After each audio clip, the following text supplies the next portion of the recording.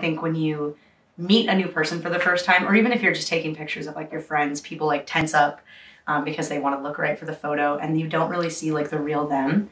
But when you crack a joke or when you compliment them or something, you kind of chisel into that like armor that we all build up and you just see like raw joy and humanity um, leak out. And it's so gorgeous. My name is Sawyer Moss. Um, I am the founder of Sawyer Moss Photography.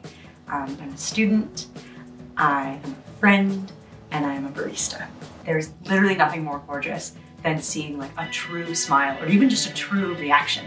Like even if they like are embarrassed and they like cover their smile, it's just so gorgeous. I don't know, like I feel like bringing me almost to tears like thinking about it because it's just so, it's just so cool to see.